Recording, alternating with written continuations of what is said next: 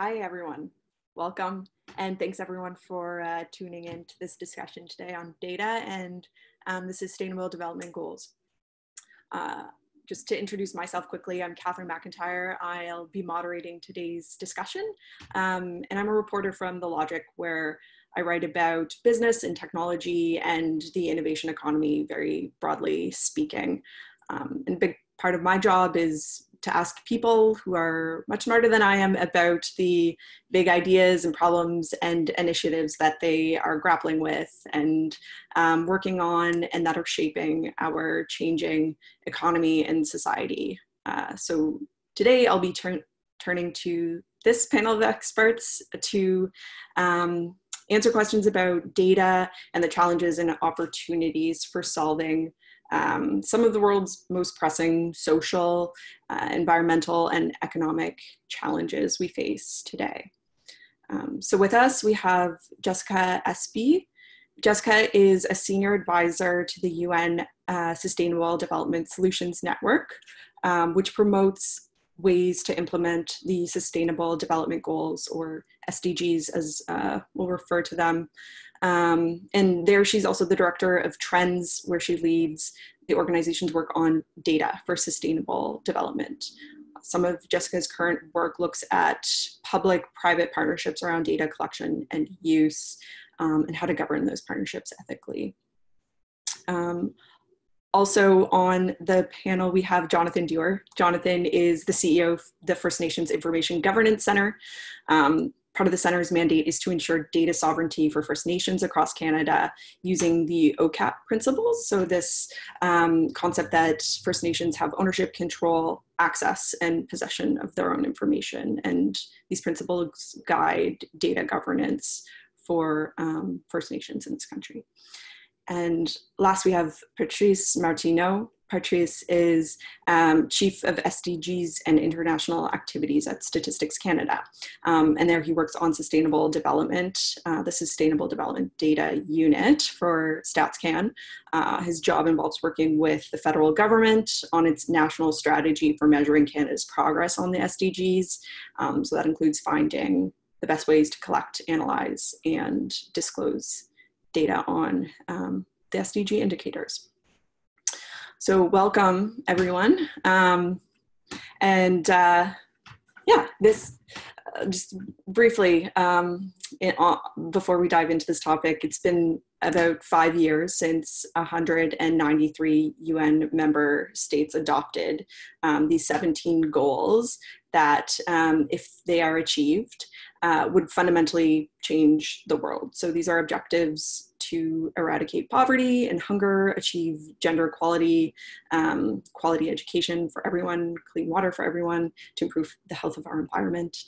Um, and central to these goals is the tenet uh, no one left behind. So, to address the needs of everyone in the world, um, this massively ambitious goal, um, it requires uh, you know measuring how everyone is doing and then subsequently measuring progress that we're making on these hundreds of indicators that underlie these 17 goals. Um, and so to do that requires what uh, the high level panel that predated the SDGs called the need for a data revolution. Um, so that is to say new and more robust ways of collecting data, uh, analyzing it, and governing it. Um, so these are all ideas that have been discussed since before 2015 when the SDGs were um, adopted, but over the last couple of years, and especially now with COVID 19, um, these questions around data collection and governance have become um, even more urgent. So, in this discussion, I want to talk about you know, the progress with using data to gauge where we are and where we need to be in order to meet um, the deadline for the SDGs, which is 2030. So it's coming up. Um, and also talk about the risks associated with this data revolution.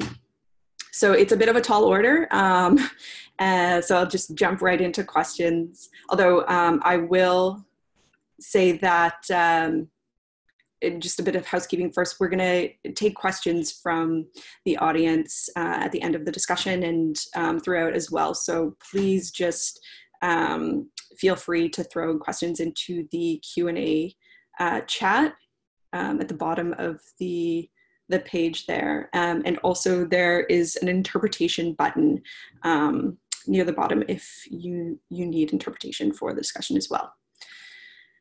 Um, okay, so I'm going to start with Jessica. Um, when we talk about this data revolution, my understanding is, you know, we need traditional data like survey and census information, but also new ways of gathering and using data. So can you talk about why new approaches are needed and um, what that looks like in the context of sustainable development and these goals? Sure. Um, thank you so much and lovely to be with you all today. And thank you to everyone who's joining virtually. Um, yeah, so uh, it's a really good question. So, a lot of people, when I say that I work on data and information systems on sustainable development, a lot of people say, well, why? I mean, we know where the population lives, we know how many people live in poverty, um, we know um, the state of deforestation, and so on. But the sad truth is um, that actually we really don't. A lot of what we think we know is based on very old data sets um, and model projections.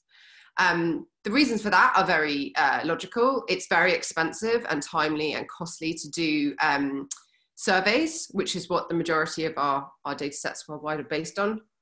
Um, you know, go, literally going house to house um, to find out, you know, information on people's well-being or their income or whatever is, is a very intensive process. And as such, they're only done intermittently and in low capacity countries done, you know, far less than that.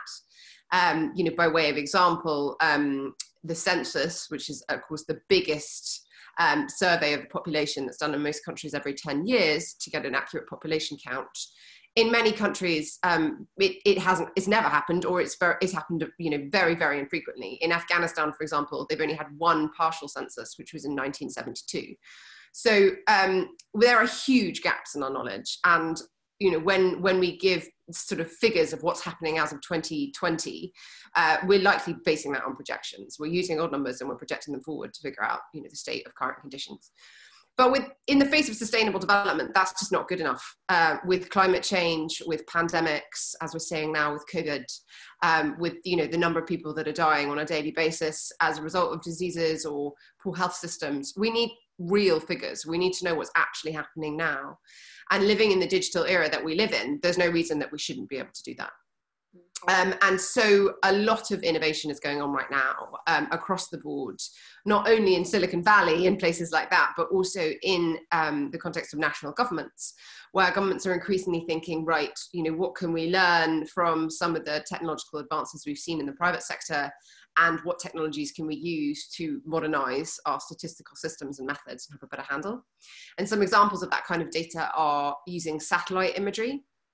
So using aerial images of the earth to have a much better understanding of infrastructures. So where are there built dwellings, for example, mm-hmm. and then triangulating that with population data to figure out, you know, where are the population, where do they live, um, and, and kind of come up with more uh, robust, timely estimates of population change so there's a lot of innovations like that you know satellite data using telecommunications data um, citizen generated data like people literally going out and counting how many birds they see in that given area and so on. So there's loads of different innovations and um, they all represent huge opportunities but there are also a lot of challenges associated with these kinds of data partnerships um, as i'm sure we'll come on to in a bit. Yeah. Um, Patrice, Statistics Canada's role in um, the SDGs um, is is quite significant. They're they're really leading the way for the government here in terms of um, uh, measuring progress um, to be able to then build on that. So I'm curious. You've been at Stats Canada for a while, and I'm curious to know um, what um, how the organization is approaching uh, these goals differently than it has um, in the past in terms of um, collecting, analyzing, and reporting on data? How has the organization had to adapt in order to try to meet these really ambitious um, targets? Thank you for the excellent question. Um, so for the SDG, like I would say it's kind of a, a project, a special project, uh, different. Uh, in, in, general, like StatCan, we use a, a, diversity of sources of data. We use admin data, we use surveys, we have the census. Uh, one major difference for this one is we have to report for a, a wide range of, uh, of goals. And sometimes the data are not produced by StatCan itself. So uh, we're collaborating with other organizations like other department or uh, international organization to have data. And we have to ensure that the data that we present, like in our uh, SDG data hub, where we present like the progress made for the, the different indicators, we have to make sure that they are good quality and they, that they measure like adequately like the indicator because uh, we don't want to uh, mislead like anybody. So that's one of the challenges that we have had. Also, uh, we have different sources, like we have the what we call like the traditional data. The census, as an example, is a, is a major source of information. Uh, it can it allow for a lot of disaggregation in terms of geography and also like uh, different population. The only problem is in Canada, we collect it like every five years, which means that between now and uh, 2030, we have two more census. Mm. Uh, is that enough to track everything and to make sure that we're doing the progress and we're on, on the right track? Uh, we probably need like other uh, data to complement that. Um, it's interesting because the, the, the situation we're in right now with the COVID-19, uh, StatCan has uh, tried like new method of, uh, of surveying. Like we have done uh, some crowdsourcing as an example. We're also like exploring like new kind of data that are less traditional, like qualitative data, but also like perception data. in terms of poverty, as an example, we used to have like a, a poverty threshold uh, and we say like, okay, if you're above this threshold, you're not poor, and if you are below it, you're poor. Uh, but there are more to that. Like maybe there is like also the perception of the people. Like, do you feel that you're able? Like, do you feel you have enough money and enough resource to uh, do everything you, you, you have to do? Like to uh, have a nice like uh, housing and uh, that you have like a full security and everything. So we're trying to explore that. I think that we have to keep in mind that is really, really important is uh, we have to make sure from a statistical point of view that data are representative of, of the situation. Uh, and I will give you like two, two, uh, two easy examples to understand that. Like if I want to measure that uh, the, the use of uh, internet by Canadian, I want to know like percentage of Canadians who are connected. If I do an online survey, there is a huge bias at the beginning because for sure people who will answer it are already on internet. So I'm missing a big part of the population who are not using the internet. Or uh, if I want to know like how much physical activity do Canadians do, and I do a quick survey to my bike club, for sure I will probably like overestimate like the, the physical activity. So we have to be really careful with that. We have to make sure that uh, the, the methodology methodology are uh, statistically sound and uh, representative of the population. Right. Uh, Jonathan, welcome. We can see you now.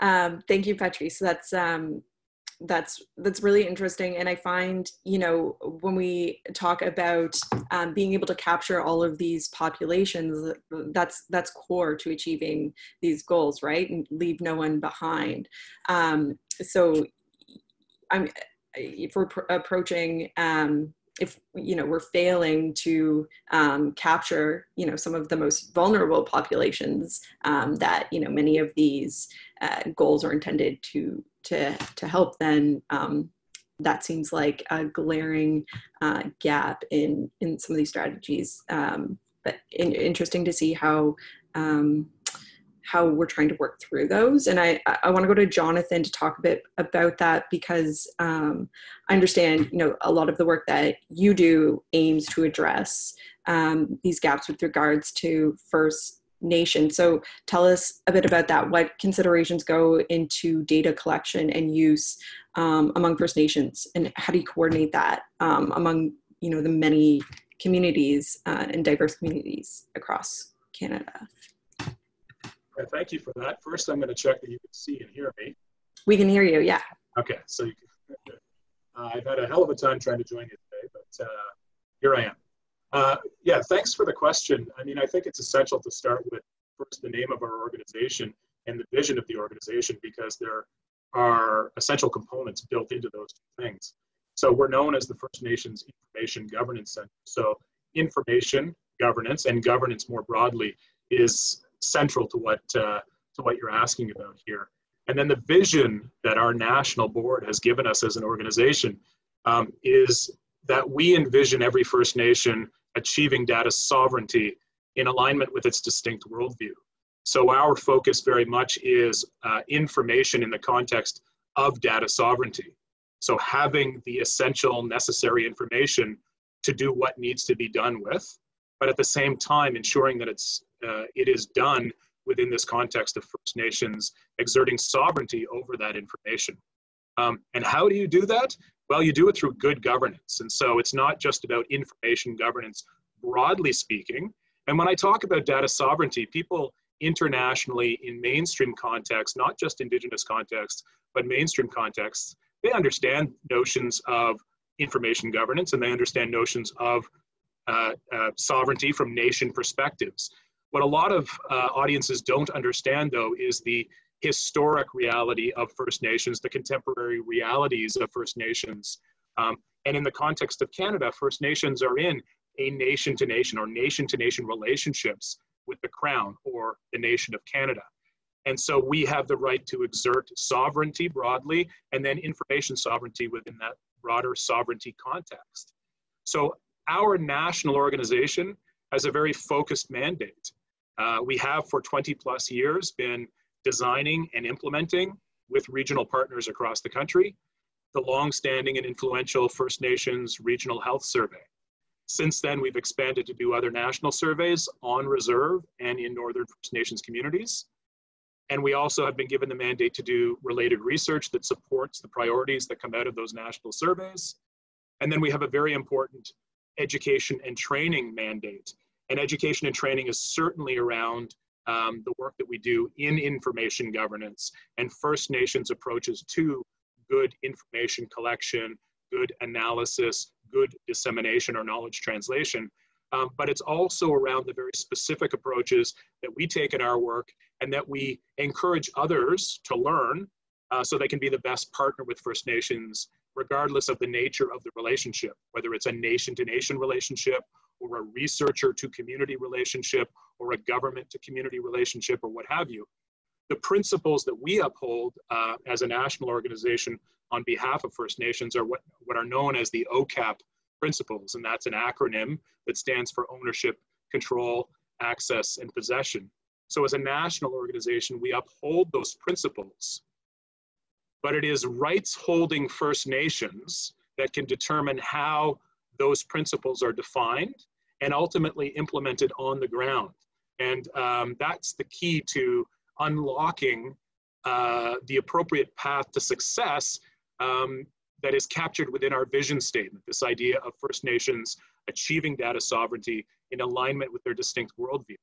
Because there is this incredible diversity uh, across and within First Nations in Canada, there's a need to ensure that rights holding First Nations determine what it means to own, control, access, and have possession of their own information, and what it means for others to come to them and determine what a working relationship is. And you do that via agreement um, and all the tools that we know uh, in this space of information governance and information management and research. So really, in a nutshell, uh, so much of what we do is captured in the in the name of the organization and that vision. And I, I expect we'll come back to some of these issues as we talk as a as a panel and uh, and with uh, the participants. Mm-hmm. Yeah, I'm curious um, globally when we talk about uh, data governance, um, like how important is the local context? Jessica, maybe you can answer this question. What considerations do policymakers uh, and private organizations have to be making here as well?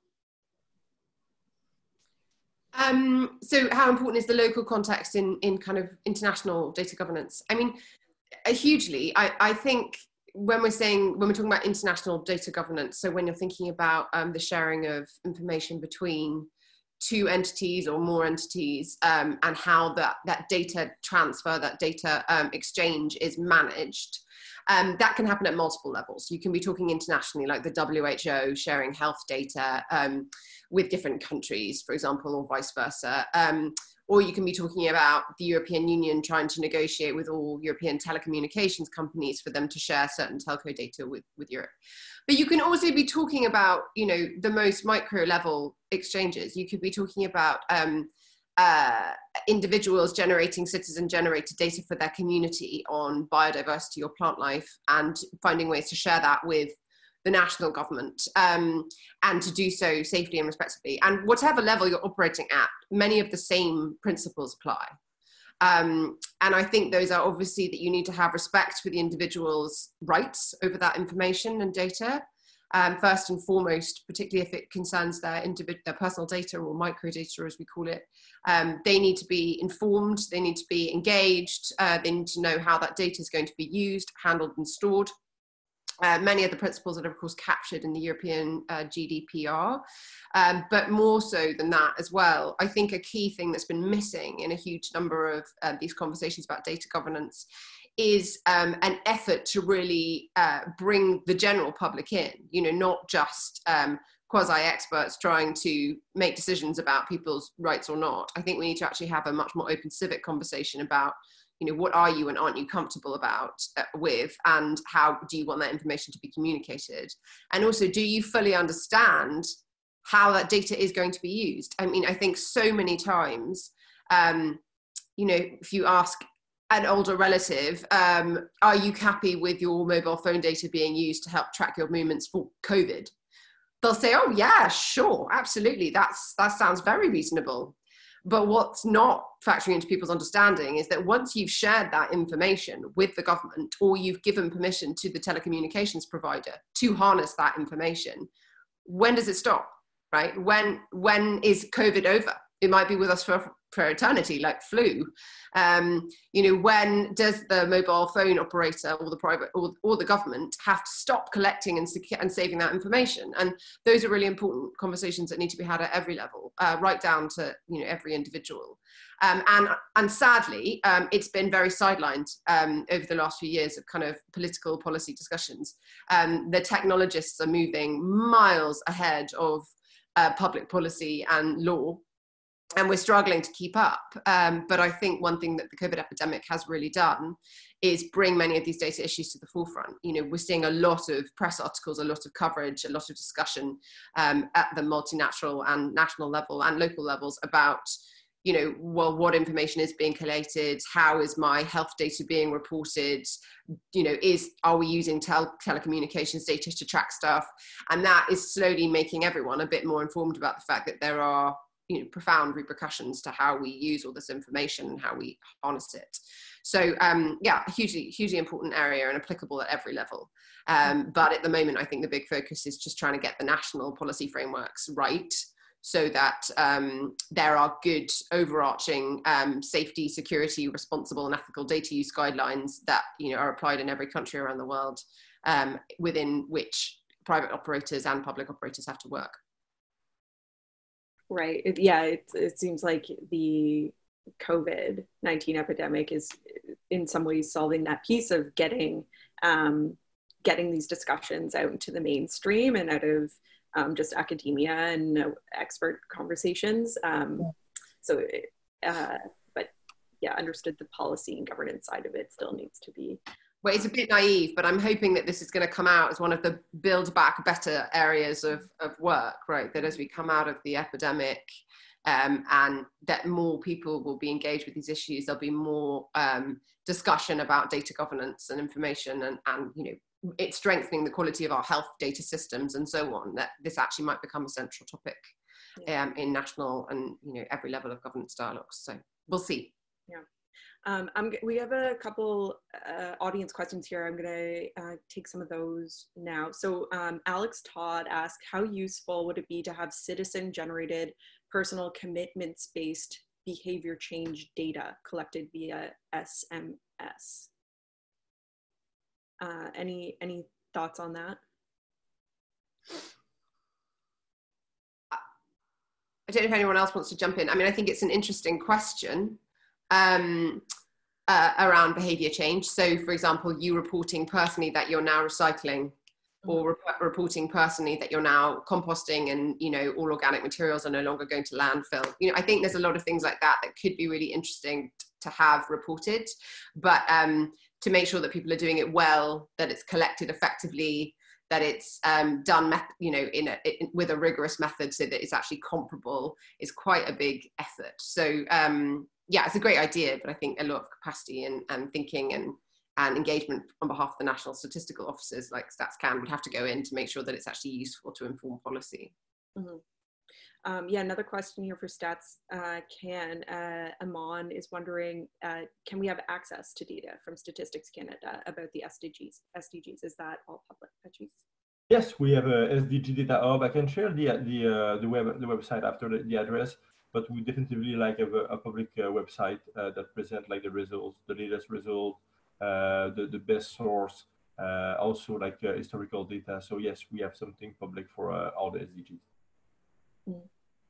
Um, also, Patrice, I know um, the SDGs are meant to be politically neutral, um, but you know when you're sifting through data, it's possible to uncover information that may not be um, the most flattering for a country. And so I'm curious to know um, how Statistics Canada um, while working so closely with the federal government ensures that information gathering um, and reporting is politically neutral?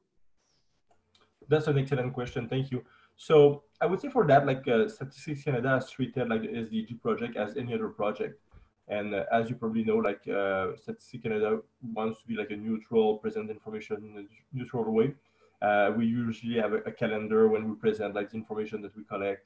Uh, so in that sense, like uh, we, we have just make sure that we report good quality data based on sound and transparent methodology.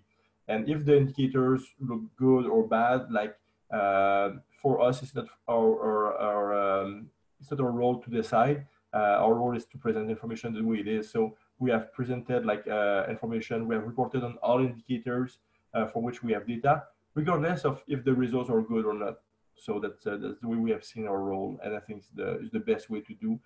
If you look like the commitment for the, the role of the data in the SDG, uh, they always talk about like transparent reporting is really, really important, and the role of the, the NSO uh, is, is key to that to, uh, to report data like in, in a neutral way. Um, sorry, I getting a couple notes from listeners. Uh, I can hear Patrice, uh, Jessica, and Jonathan. Uh, question some folks are saying they can't hear Patrice. Um, so I'm not sure. Uh, okay. Uh, I'm not sure if it's a maybe an interpretation, if it has to do with whether you're using the interpretation button. I, I don't know. Uh, maybe just volume. Yeah. Okay.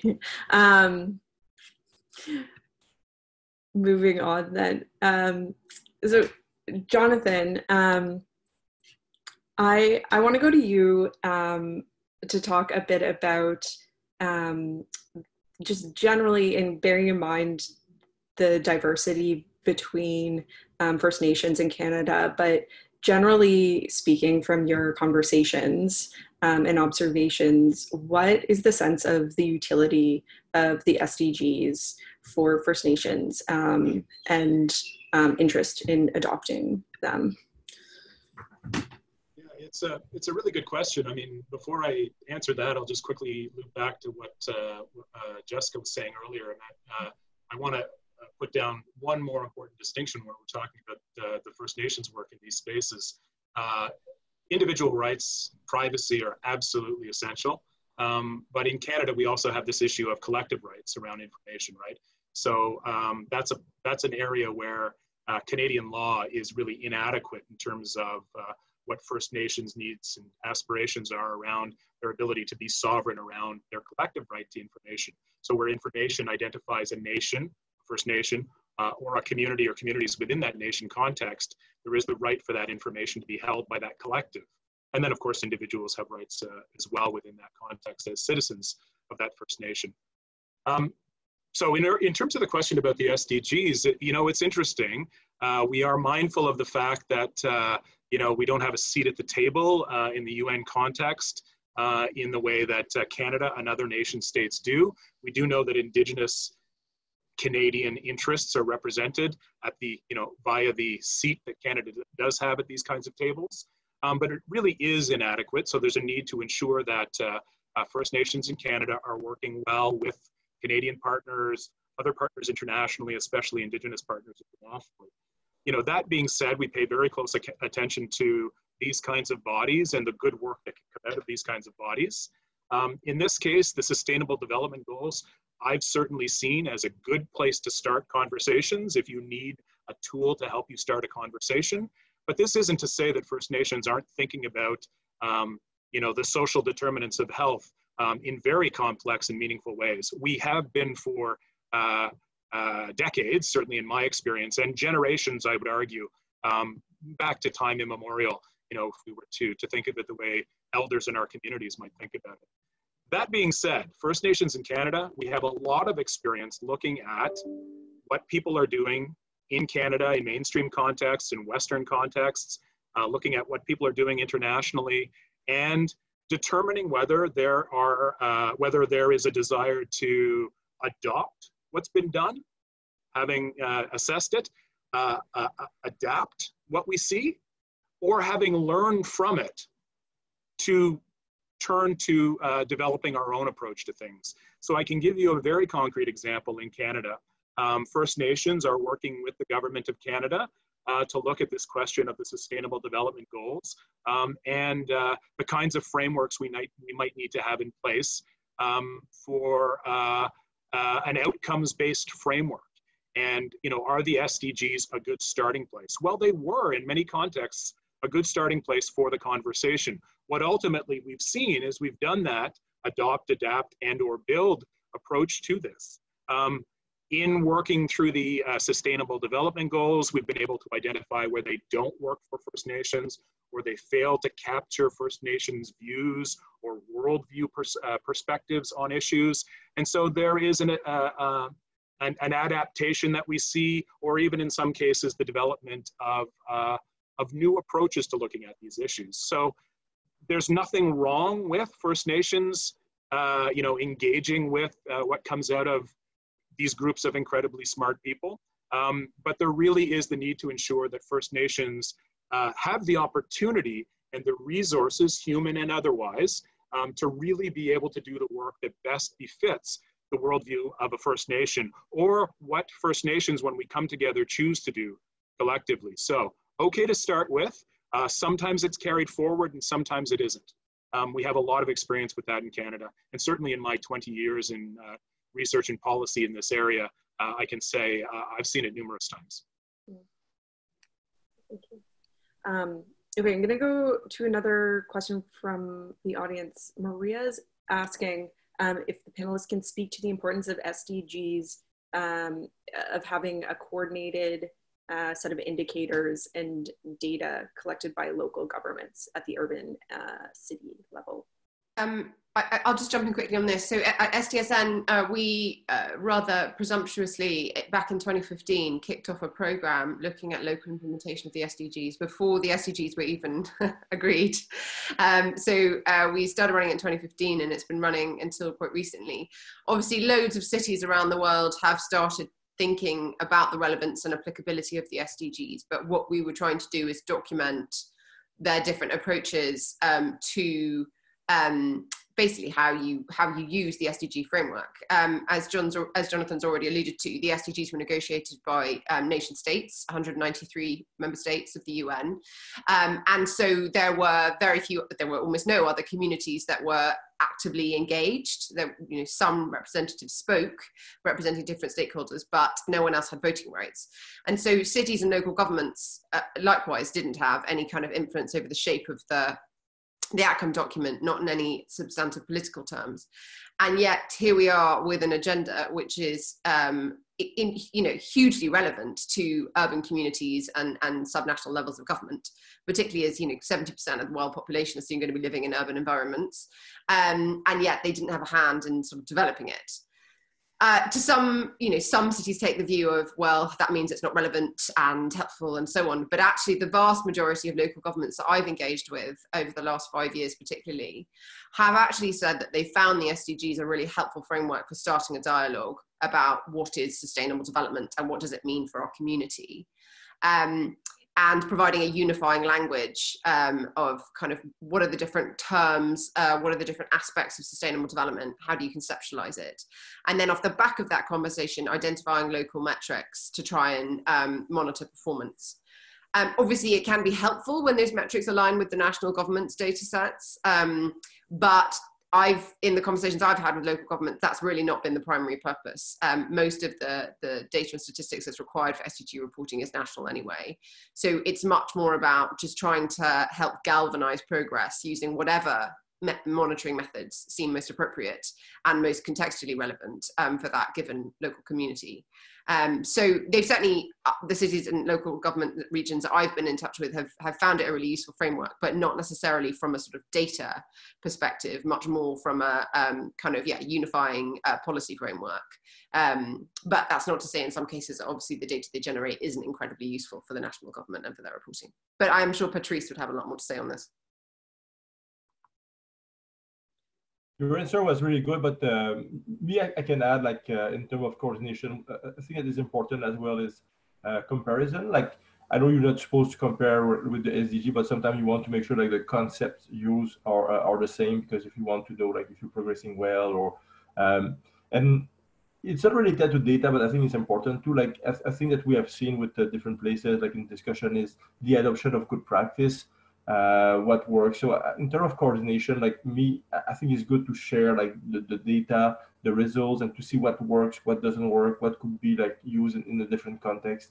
Uh, I, I, see a lot of uh, potential collaboration in that, and I think that is really really important. Like we have sometimes like good thing that, that work really well and we can reuse, or thing that didn't work that well that we should not re reuse. But uh, I see a, a good potential with that. Okay, uh, we haven't talked much about um, progress on the SDGs to date. Um, so it's been five years, about 10 more years uh, to go to meet the 2030 deadline set by the UN. Um, what, what have we seen in terms of progress in reaching these goals? Um, eh, this question for any of the panelists, if you want to jump in. Maybe we can go to Patrice first um, and talk to us about progress that we've seen uh, in Canada. So, yeah, can definitely talk about the progress. Uh, so it started in 2015. Uh, sometimes we don't have data for 2015, so it's difficult to see. And what is also interesting is sometimes we can see progress, but it could just happen because it happened like naturally, like in, in one sense or, or the other. So it's really important to uh, also like assess like what what is the source of the of the progress or what has been done to uh, to to make the progress to to see like was it like a policy or a change in, in the habits of the people? Uh, so and and as you can see like there is a wide range. So we there are somewhere like uh, where uh, we can have like an easy uh, view, like goal number one, poverty is an example. One of the major uh, indicator is the, the percentage of the population uh, living the official national uh, poverty line in Canada. So we have seen like different measures that had an impact, and we have seen this uh, this uh, this indicator like going down recently. now we are in a special situation. Is it going to, to change or to go up again? I don't have the data with me, but uh, this one was definitely on the, the, the, right track. There are some others that are more difficult to track or take more time. I'm talking about like uh, sometimes the environment. I think we just published uh, the 2018 results for the greenhouse gas emission. Uh, so there is kind of a two years delay. Uh, so it's difficult to see and it's difficult to see what, what works and what has a, an impact. So I, can talk like for probably like hours and hours about like indicator by indicator, but if you lo go look at the SDG data hub that we have uh, we propose at StatCan, you can see like the, the trend and we have like usually more than one year. So you can see like what is uh, moving to the right direction and what isn't moving. But what is really important to me, and I, I want to highlight that again, is uh, what has been done. Like, is it like a, a fluke that is going the right direction or uh, is it like the, the, the, the, change that we have done uh, to adapt to the SDG that have, uh, have changed the, the trajectory or the, the trend? Yeah how do we um, you know ensure that governments in uh, nations are taking what they're learning through all of this data, um, they're collecting and actually using it to inform policies and programs that can help achieve these goals. Um, Jonathan, I don't know if you have some insight into that. Yeah, this is going to sound like a bit of a dodge to the question, but I think there's an important point to, to insert here uh, from a First Nations perspective. Again, the, the, uh, the SDGs are not ours, um, mm-hmm. but they can be a useful tool for us, and we're certainly working with our government uh, partners at the federal, provincial, territorial level on the utility of, of using the SDGs uh, to look at frameworks and indicators and, uh, and the approaches that we have. Um, I'd, I'd, like to share something that I shared with uh, my fellow panelists when we spoke last week, which is this idea that in Canada, uh, we're often focused on this gap, the gap that exists between First Nations and non-First Nations people in Canada. Um, and uh, my colleague Mindy Denny out of Nova Scotia, uh, a Mi'kmaq data champion, um, has this beautiful quote that she uses around this idea of a gap. And uh, for her and, and uh, the, the citizens of the Mi'kmaq Nation, and for many First Nations people across Canada, I think it's safe to say that, uh, uh, as she says, the gap that we're interested in closing is not the gap between us and non First Nations people. The gap is really um, what's the distance between where you are and where Creator intended you to be? And what's the work that we need to do to close that gap? And if that brings up your, uh, uh, you know, your uh, health and well-being and that of your family and your community and your nation, um, then that's a, a, beautiful approach that I think Canadians uh, can think about uh, as well. Um, there is an important role in closing socioeconomic gaps, absolutely, and we're not talking about uh, discounting that in any way. But this important change that we've seen and therefore progress, and the SDGs are a small part of helping the progress in this area is in the nation to nation relationship, Canada and First Nations are talking about the importance of looking at gap closure through First Nations worldviews. And I think Mindy's quote beautifully encapsulates uh, a Mi'kmaq view as she articulates it. I think that's a good place, as good as any, to um, end our conversation. Um, if you do want to continue uh, chatting about this, um, you can see in the Zoom chat at the bottom of your page, there's a link to um, a coffee chat, which you can uh, go and continue the conversation there. Um, so thank you again, everyone, for tuning in um, and listening and asking your questions. And to all the panelists, thank you so much for your insights on this. Really appreciate it.